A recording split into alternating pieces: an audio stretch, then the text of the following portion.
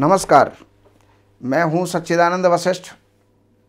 सज्जनों, किस नक्षत्र के लड़के से किस नक्षत्र की लड़की का विवाह हो सकता है? इस वीडियो में आपको ये जानकारी मिलेगी। अब ये नक्षत्र है भरणी। और भरणी नक्षत्र में लड़के का नाम हो सकता है ली, लू, ले, लो। तो उन ली, लू, ले, लो जो लड़के का नाम है तो उससे यहाँ पर अगर अश्विनी नक्षत्र है तो तैंतीस गुण आते हैं। द्विर्द्वाद, इसके अंदर नक्षत्र का जो है, दोष आ जाता है। एक एक नक्षत्र से दूसरा नक्षत्र बारहवां हो तो वहाँ पर महादोष होता है। जहाँ तक हो, बचना चाहिए, लेकिन राशि मैत्रिक है, इसलिए ऐसा कोई दोष मान्य नहीं है। दूसरे नंबर पर, इसके अंदर भरणी से भरणी नक्षत्र ली लू ले लो की लड़की है और ली, लू, ले, लो, यही जो है लड़का है तो यहाँ पर आप विवाह करेंगे तो 28 गुण आएँगे। लेकिन चरण भेद हो जाए। जैसे ली अक्षर है लड़की का और लो अक्षर है लड़के का तो यहाँ पर चरण भेद होने के कारण से यहाँ विवाह हो सकता है 28 गुण मिलेंगे। और अब लड़की का जो है भरणी नक्षत्र के लड़के के साथ लड़की का कृतिका नक्षत्र है। और कृतिका नक्षत्र का पहला चरण है तो मेष राशि में आएगा। उनतीस गुण मिलेंगे, गण दोष होगा। तो इसमें राशि मैत्री होने के कारण से आप इसको कर सकते हैं। और कृतिका नक्षत्र का ही तीसरा, दूसरा, तीसरा, चौथा चरण है तो उसके अंदर गुण आएँगे, राशि हो जाएगी वृष। और गुण मिलेंगे इसके अंदर बीस। तो ऐसी और जो गण दोष और द्विद्वादश दोष आता है, इसको जहाँ तक हो, नहीं करना चाहिए। लड़की की राशि है वृष और रोहिणी नक्षत्र हो तो ओ, वा, वी, वू, ये जो अक्षर हैं रोहिणी नक्षत्र में आते हैं, और भरणी नक्षत्र के लड़के से इसका जो है विवाह साढ़े तेईस गुण मिलेंगे, द्विद्वादश दोष आएगा तो यहाँ पर जहाँ तक हो, वहाँ तक नहीं करना चाहिए। भरणी नक्षत्र का ही जो है लड़का है और नक्षत्र आ गया मृग सिर। वे, वो अक्षर अगर है तो मृग सिर के दो चरण आते हैं। यहाँ पर साढ़े चौदह ही गुण मिलेंगे, नाड़ी दोष और द्विद्वादश दोष आता है तो यहाँ पर नहीं करना चाहिए। मृग सिर नक्षत्र का तीसरा चौथा चरण कै की।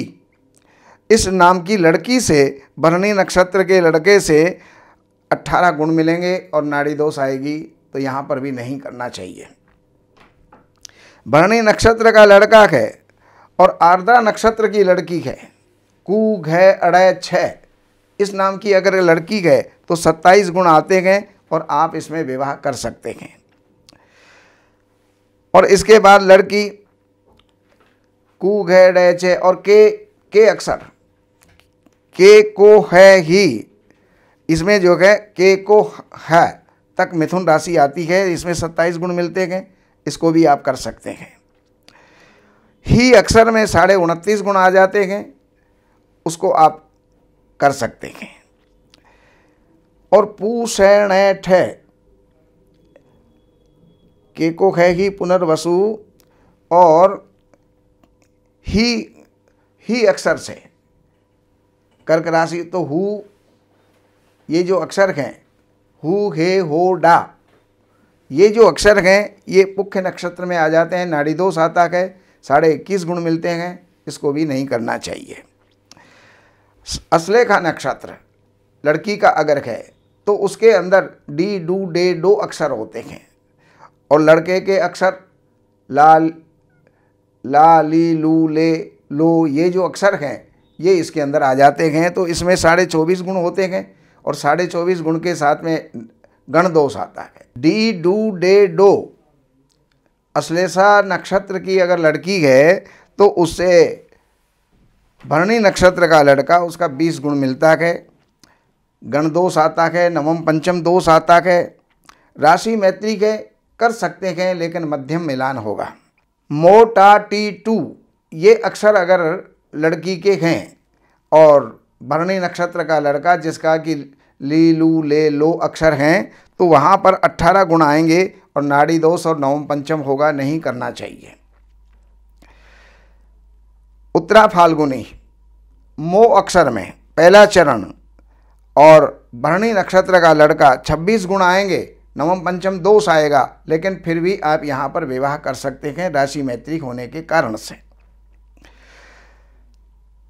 टा टी टू मोटा टी टू अक्षर जो हैं हुए। अब टे टो पा पी अब टे अक्षर के अंदर उत्तरा फाल्गुनी नक्षत्र है, बीस गुण आएँगे, यहाँ पर नहीं करना चाहिए।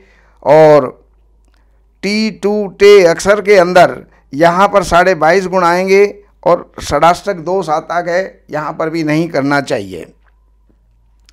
पू से अणय ठे यहाँ पर बीस गुण आएँगे, षडाष्टक दोष आएगा, यहाँ पर भी नहीं करना चाहिए। और पे पो, अक्षर में केवल पाँच गुण आएँगे। तो पे पो अक्षर की लड़की अगर है तो वो भरणी नक्षत्र से उसका विवाह नहीं होना चाहिए। और भरणी भरणी नक्षत्र का लड़का के रा, री। अक्षर अगर आया तो साढ़े चौदह गुण मिलेंगे। गण दोष आएगा, नाड़ी दोष आएगा, नहीं करना चाहिए। और भरणी नक्षत्र का ही लड़का स्वाति नक्षत्र की अगर रू, रे, रो, ता अक्षर आ जाए तो वहाँ पर साढ़े उनतीस गुण मिलेंगे, यहाँ पर आप विवाह कर सकते हैं। और ती, तू, ते, विशाखा नक्षत्र के तीन चरण और भरणी नक्षत्र के साथ में साढ़े बाईस गुण आएँगे।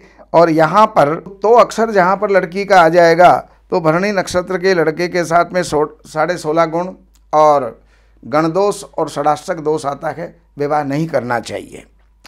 ना नी नू ने नक्षत्र अगर होंगे तो यहाँ पर अनुराधा नक्षत्र होगा, साढ़े पंद्रह गुण होंगे, इसके अंदर नहीं करना चाहिए। नो या ई यू, इसमें साढ़े अट्ठारह गुण होंगे, गणदोष और षडाष्टक दोष होगा बकूट दोष होगा, इसमें भी नहीं करना चाहिए। ये यो भा भी मूल नक्षत्र होता है और इससे जो है, भरणी नक्षत्र के लड़के में बीस गुण गण दोष और नवम पंचम दोष आता है, इसमें भी नहीं करना चाहिए। पूर्वाषाढ़। तो नक्षत्रों के अनुसार जो ये अक्षर आते हैं तो ये यो भैवी मूल और भू धा फा ढा ये पूर्वाषाढ़ नक्षत्र आता है तो उसमें भी अट्ठारह गुण आते हैं, नाड़ी दोष आता है द्विद्वादश दोष आता है, इसमें भी जो है नहीं करना चाहिए। भे अक्षर के अंदर उत्तराषाढ़ नक्षत्र आ जाता है, यहाँ पर 26 गुण मिलते हैं। नवम पंचम दोष होता है, ऐसी स्थिति में राशि मैत्रिक है तो आप यहाँ पर भी कर सकते हैं। भो जा जी ये उत्तराषाढ़ के आखिरी तीन चरण हैं तो उसमें साढ़े अट्ठाईस गुण आते हैं, इसको आप कर सकते हो। खी, खू, खे, खो अक्षर की जो है लड़की है, और भरणी नक्षत्र का लड़का है तो 26 गुण आते हैं, आप इसको कर सकते हो। गागी नक्षत्र धनिष्ठा गागी दो चरण, उसके अंदर आप नहीं कर सकते, क्योंकि ग्यारह ही गुण मिलते हैं। और गु, गे इन अक्षरों में भी आप नहीं कर सकते, क्योंकि वहाँ पर भी ग्यारह गुण मिलते हैं। गण दोष नाड़ी दोष और योनि दोष वहाँ पर आते हैं। गो सा सी सु इसमें 21 गुण आते हैं, लेकिन गणदोष आता है, इसलिए इसको नहीं करना चाहिए। से सो दा दी इसके अंदर पूर्वा भाद्रपद नक्षत्र आता है और इसमें 25 गुण आते हैं तीन नक्षत्रों में तो तो वहाँ पर आप कर सकते हो। और आखिरी जो नक्षत्र है सो तो उसमें साढ़े इक्कीस गुण आते हैं, उसमें भी आप कर सकते हो। और दूत है झय य, ये अक्षर जो है लड़की के हैं तो वहाँ पर साढ़े सोलह गुणों में नहीं करना चाहिए।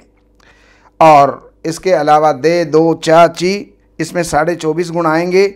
यहाँ पर एक द्विदादश दोष भी आएगा, लेकिन यहाँ पर आप विवाह कर सकते हैं।